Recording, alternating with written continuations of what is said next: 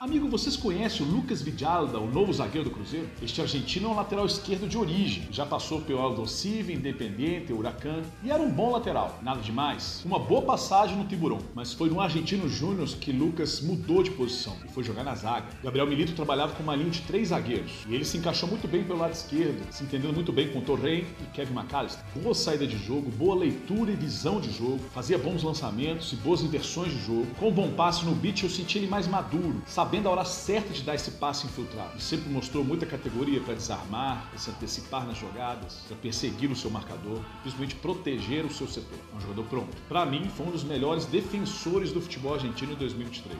Jogou muito. Até sinto que é a melhor fase da sua carreira. Mas no final da temporada teve uma lesão muito séria nos ligamentos. Mas sem sombra de dúvida vai motivar Larcamão a utilizar de novo três zagueiros, como ele fez num bom trabalho que ele fez no Puebla do México. Boa sorte a Lucas Vidal.